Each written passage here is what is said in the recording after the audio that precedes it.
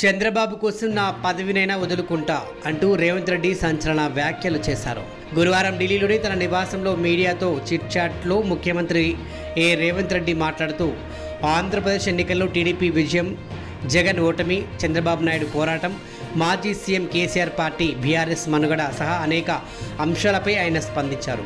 కేసీఆర్ రాజకీయంగా నిలదొక్కుకోవడం కోసం కష్టమని ఆయన హరీష్ రావు ట్రాప్లో పడ్డారని ఆరోపించారు. కేసీఆర్ లేకుంటే తన సొంత లైన్ తీసుకొచ్చావని హరీష్ రావు ఎదురు చూస్తున్నారని సీఎం వ్యాఖ్యానించారు.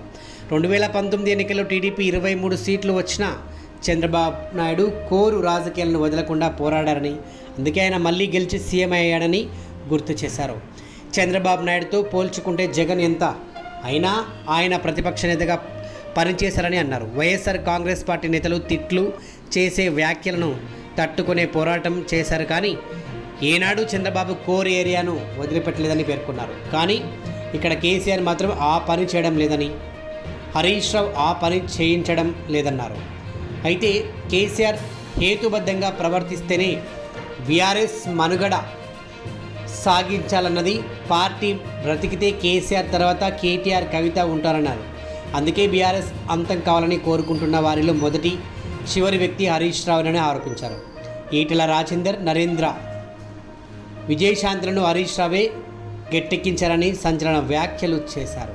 చంద్రబాబు నాయుడుతో పోల్చుకుంటే జగన్ ఎంత అంటూ కూడా ఇప్పుడు ఆయన సెన్సేషనల్ కామెంట్స్ చేశాడు. మన సొంత పగలు తీర్చుకోవడానికి ప్రజలు అధికారం ఇవ్వరని జగన్ని చూసి నేర్చుకోవాలన్నారు. రెండు వేల పంతొమ్మిది ఎన్నికల్లో ఏపీ ప్రజలు ఎన్నో ఆశలతో జగన్కు నూట యాభై ఒక్క సీట్లు ఇస్తే అధికారంలోకి వచ్చాక ఆయన చేసిన పనులు తప్పని నిరూపించడానికి ఈ దాపా పదకొండు సీట్లు ఇచ్చారని పేర్కొన్నారు.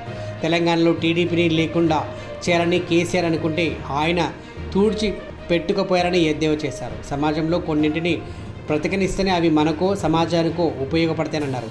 ఈరోజు టీడీపీకి పోటీ చేసే పరిస్థితి కల్పించి ఉంటే వారికి పది పర్సెంట్ ఓట్లు వచ్చి ఉండేవి. అప్పుడు కాంగ్రెస్ పరిస్థితి ఎలా ఉండేదో తెలియదని రేవంత్ వ్యాఖ్యానించారు. మొత్తానికి రేవంత్ రెడ్డి చంద్రబాబు కోసం నా పదవి కూడా వదులుకుంటా అని చెప్పి సెన్సేషనల్ కామెంట్స్ చేశాడు తెలంగాణ ముఖ్యమంత్రి అనుముల రేవంత్ రెడ్డి.